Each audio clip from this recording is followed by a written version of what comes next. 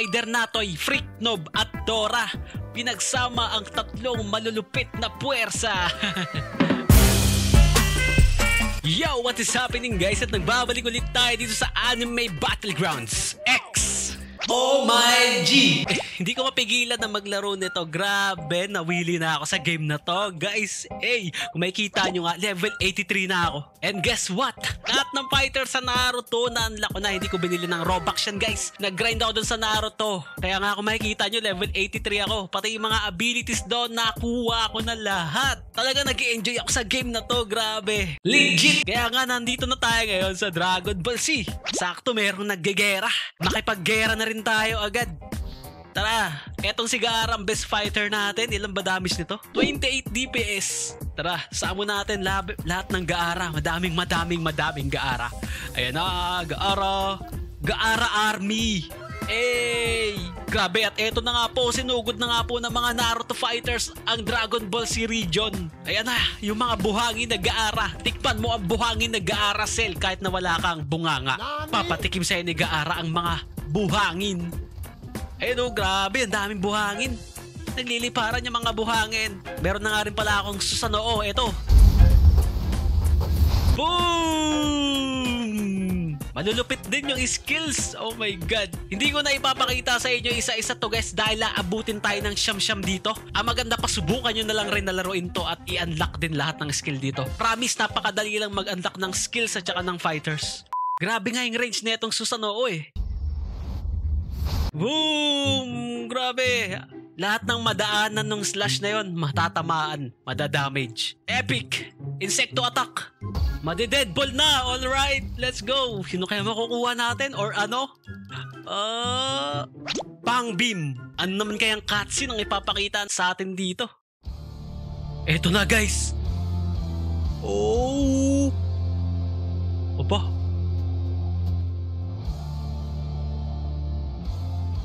Aba! Aba!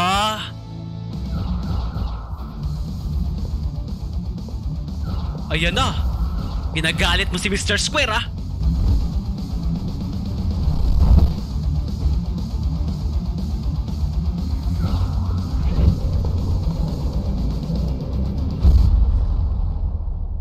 Boom!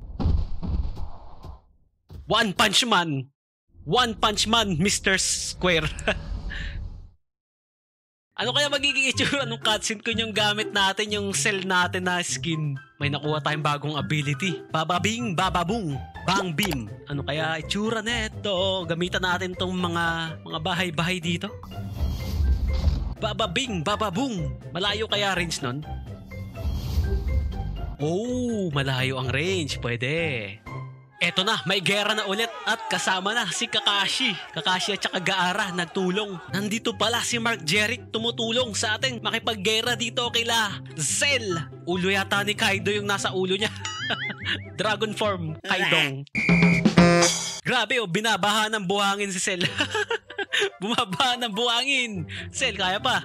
Nalunod ka na sa buhangin ah. Boom! Victory! Ano kaya bibigay sa atin?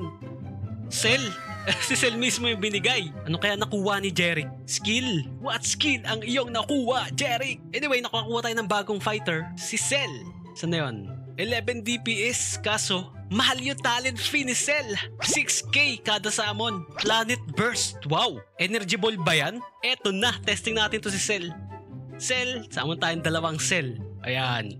Ayan na, Cell. Pakitaan mo kami, Cell. Boom! Sa, sa kanya palang skill to, bang beam. Boom! Gusto ko ng skill, Masenko. Katenko? Testing, testing. Ooh! Ayan yung maganda dyan. Pang malayuan to for sure. Masenko. Ay, mali. Ito isa. Mm, malayo range niya. Pwede. Uyo! Nandito sa Spider-Man, si Mikasito, Spider-Man na. Hindi na siya pato. Nag-evolve na siya from pato to Spider-Man. Evolution of Mikasito. Spider-Natoy. Na ako.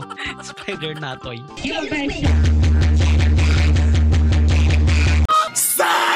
Okay, habang gumigera yung mga alagad natin dyan, Sira-sira muna tayo ng mga bahay-bahay dito sa gilid para meron tayong stars. Oh, nakuha natin si Mr. Pogi! Mr. Pogi in action. Mr. Pogi, pakitaan mo kami. Sa kanya pala yung regalo na yon. oh my gulay. Ayan na, pila-pila, Master Pogi. Isang pila lang. Papunta kay Sel. Ayan na po, si Master Pogi. Gegera na. Ooh, pila-pila. Ganda ng pagkakapila nila.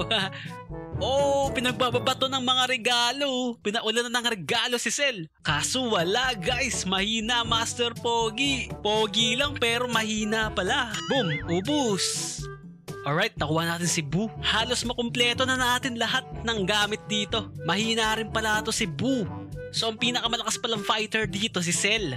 Upgrade nga natin to si Cell. Okay, level 25 na yung Cell natin. Yung damage niya, 37 DPS. HP niya 2.3k. Pero yung cost ng summoning niya is 13.2k stars. Grabe. Ang mahal na. Cell Army Attack. Grabe, naubos agad stars natin. Eh no, daming cell oh.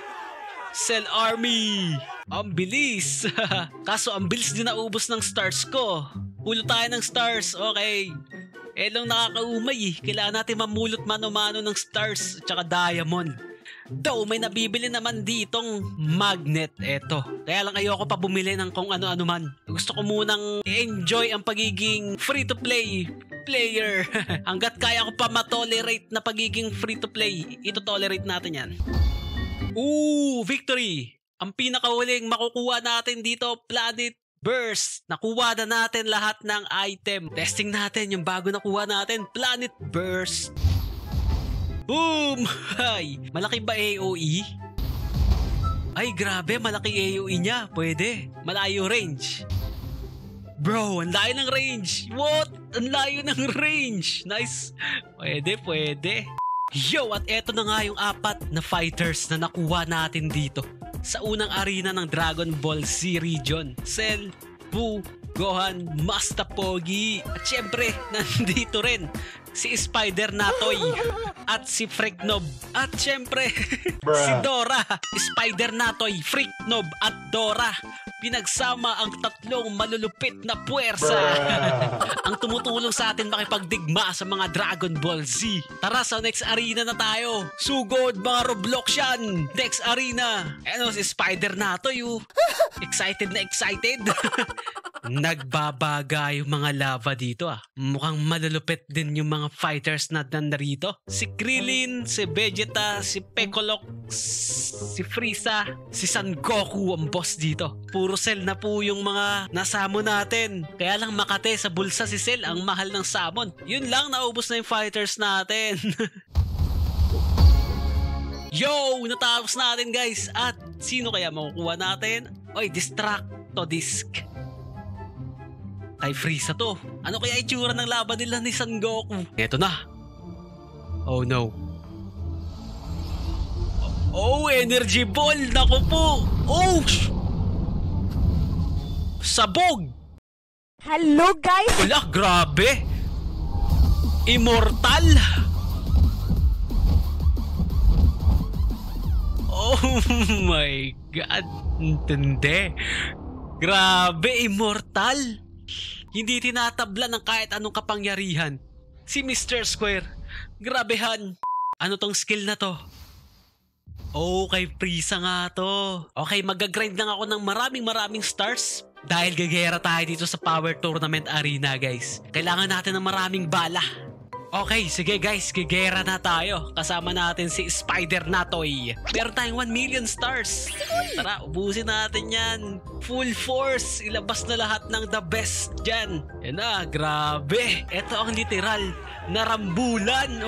ang dami, ang daming cell, ang daming gara. What? Ang kulit. Ang dami. Nilalanggam po ang arena. Sino to? Wala, Ultra Instinct Goku ba to? Ano kaya itsura na magiging laban namin neto? Push! Push! Eto na, Ultra Instinct Goku na. Ubus ang cell. Ubus ang mga warriors natin guys. Eto na. Gera na. Master Pogi. Ay, hindi na pwede. Walang Ultra Ultra Instinct sa maraming cell, Goku. Tandaan mo yan. Nandyan pa si Spider Natoy. Eto, tatapos sa'yo si Master Pogi, Goku. Master Pogi, tapusin mo na ang trabaho. Master Pogi, let's go! Boom! Alright! Master Miyoshi, ka? Master Buten? Ano kaya tsura ng laban nila? Oh my God, eh na. Op, awatin mo, awatin mo, Jordan. Baka mapilayan si Goku. Uy! Grabe! May Kami Wave! What? Walang sinabi sa Wave ni Mr. Square. That's a lot of power. Are you okay? Yeah, okay lang ako. Tinan mo naman si Goku. Si Goku ang tanungin mo kung okay ba siya. I can't believe how many people you've beaten and you don't even look hurt. Wow! Ano nangyari?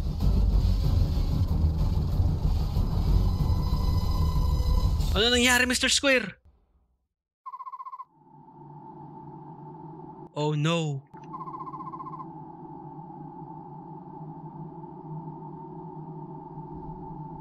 Okay, akala ko naging masamang tao na si Mr. Square eh. Are you sure you're okay? Takot, takot si Jordan.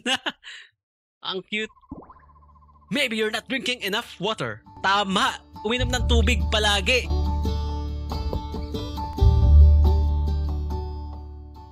Yo, natapos na natin dito ang pangatlong arena sa Dragon Ball Z. Pero hindi pa natin nakukuha lahat ng pwedeng makuha dito. Yung mga skills at saka lahat ng fighters. So kukunin ko na lang muna yung lahat and then siguro sa next video, ipapakita ko na lang sa inyo. Or mas maganda guys, itry nyo na rin na laruin tong game na to. Dahil dito na nga muna natin tatapusin itong video na to. Kaya maraming salamat sa panonood nyo. Kung nagustuhan nyo itong video na to, pakiiwanan nyo naman ang isang napakalpit na like at kung hindi pa kitang subscribe.